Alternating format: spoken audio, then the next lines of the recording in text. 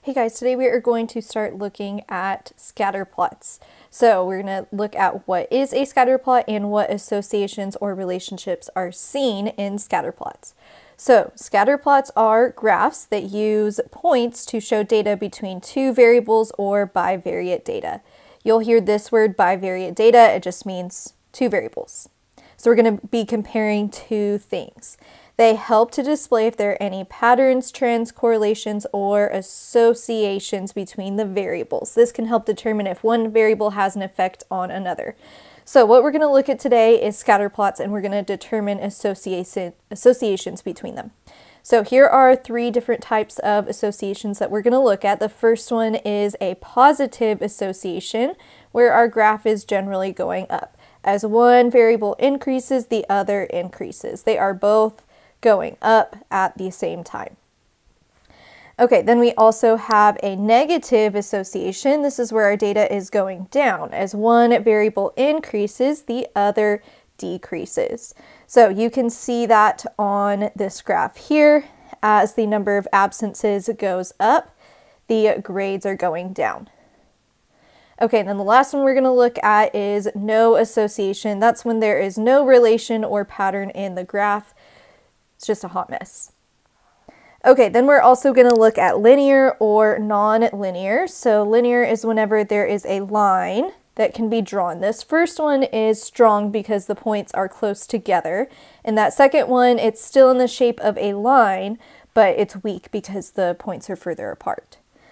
Okay, then in these two over here, we have some non-linear patterns. This one's pretty strong because our points are together and we can see that curve. And then this second one, we have a curve here and it would be weak because the points are further apart. So non-linear, the shape is not a line, but there may still be a curved pattern. Okay, so we're going to look at these graphs. We're going to describe the relationship that's going on and then describe the association and if it's linear or nonlinear. So this first one, as my days increase, my Instagram followers are going down. So as the days increase,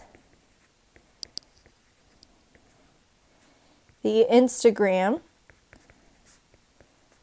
followers decrease. As you can see, this data is going down. So we would say that this is a negative association. And then in general, this is in the shape of a line, so we would say that it is linear. All right, let's look at the next one. This one, I do not see any sort of pattern going on here. So we would say there is no relationship between the number of texts sent and the age.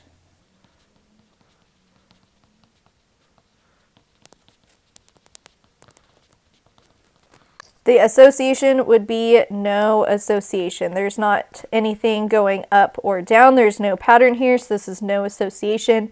And then obviously, since there's no association, this would be nonlinear.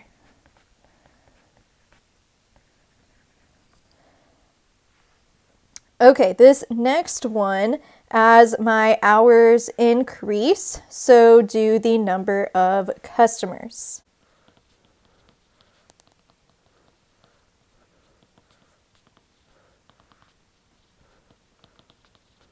That would be a positive association because both of my variables are going up. However, this one is pretty curved. That does not look like a line to me. So we would say that this one is non-linear.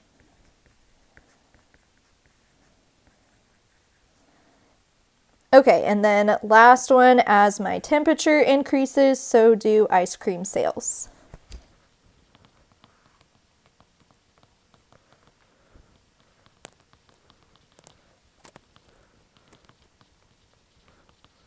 So that would be a positive association because we are going up. And this one, it's not as strong as some of my other ones, but this is in general in the shape of a line. So this would be a linear association.